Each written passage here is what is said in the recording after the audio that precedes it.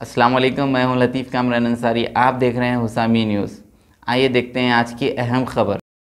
Hello friends, अगर आपने like, share, comment, subscribe नहीं किया है तो प्लीज़ सब्सक्राइब करें और ढेर सारे लाइक दीजिए।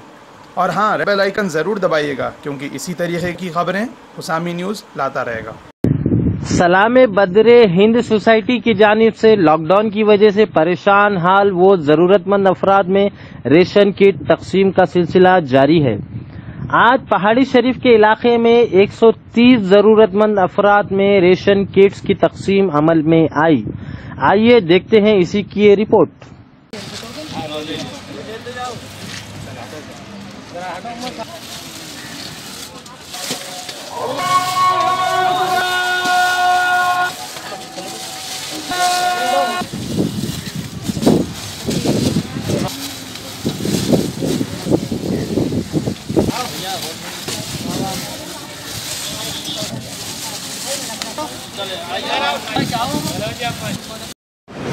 वालेकुम रहमतुल्लाहि व बरकातुहू।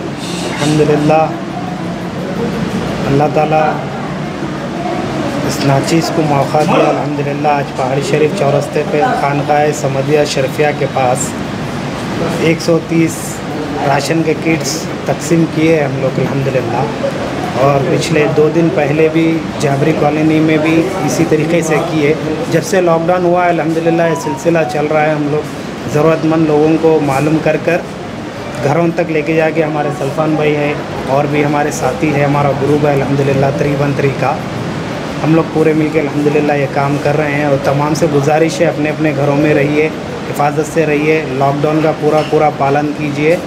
और अपने और अपने बच्चों का, अपने माँ बाप का सबका ख्याल रखिए। शुक्रिया। वालेकुम